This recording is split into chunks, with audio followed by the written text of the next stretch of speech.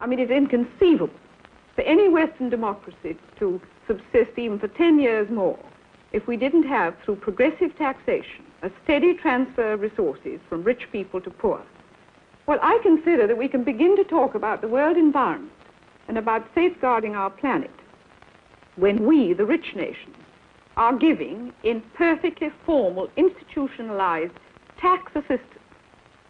Oh, at least 1% of our gross national product in development capital for the poorer nations, I would go higher myself. We've got to stop lecturing them while we sit back and engross 80% of the world's income for 20% of the world's people. And that, I think, is the critical thing on this development environment issue.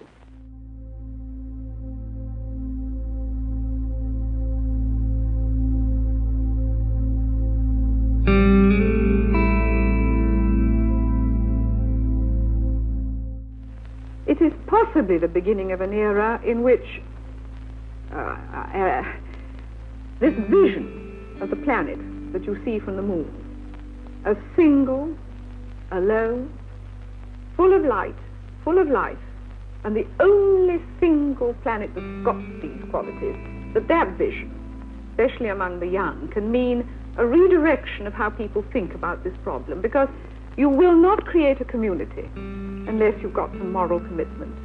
And moral commitment needs some very stern underpinnings because we ain't moral easy.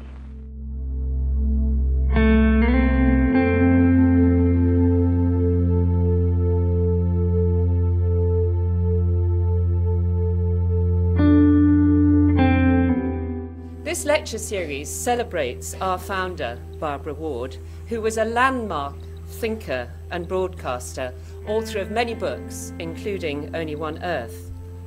Her insights on the urgent need to bring together environmental prosperity and economic well-being would be of great value as we grapple with today's difficulties in addressing poverty and climate change.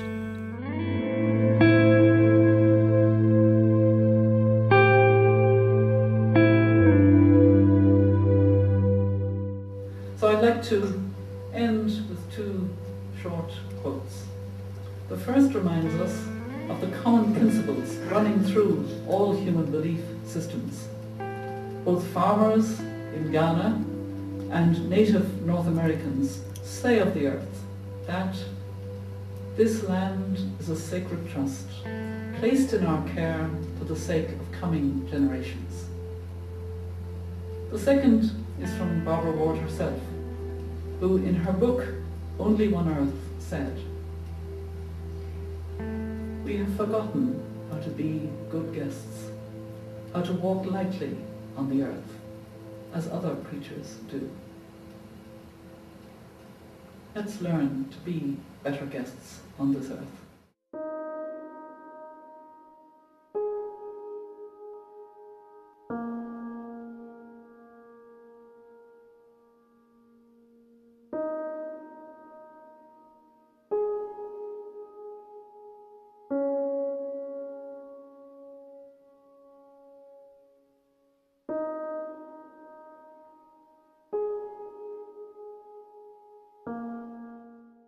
Reach the ultimate of power, which we have done, we can only respond by having the ultimate of community, which is a single planet.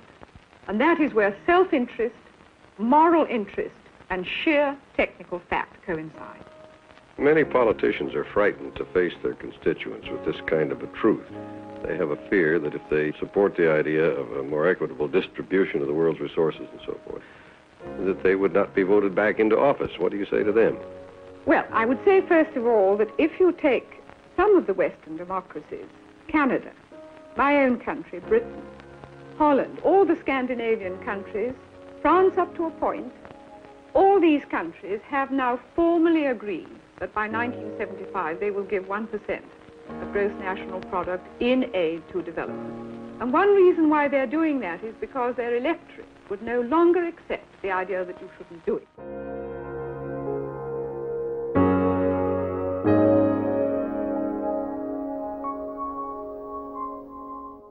I recall still in my childhood in Europe how we saw black and gray and yellow chimneys uh, billowing smoke from, from factory, uh, open waste dumps in the countryside, filthy, untreated wastewater running into rivers and ponds.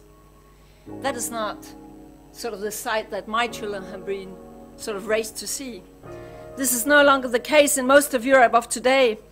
And that shows us how much we can actually achieve in just one generation's time.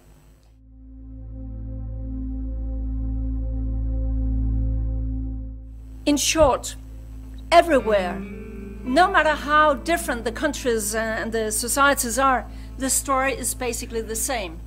As the climate changes, things become more and more unpredictable. That we can cope with in the rich societies, uh, but it's much harder if you are a developing country, if you're least developed countries, and of course, as always, the most vulnerable parts of the population will be hit the most.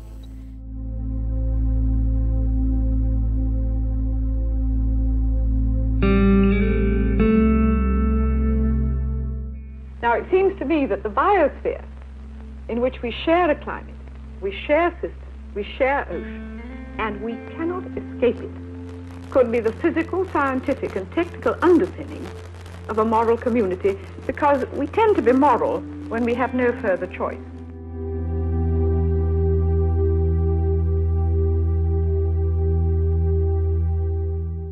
It is good also to participate in this ceremony, which has honored three distinguished citizens of the free world, President Pusey, Father Bunn, and our friend from the world of freedom, Lady Jackson.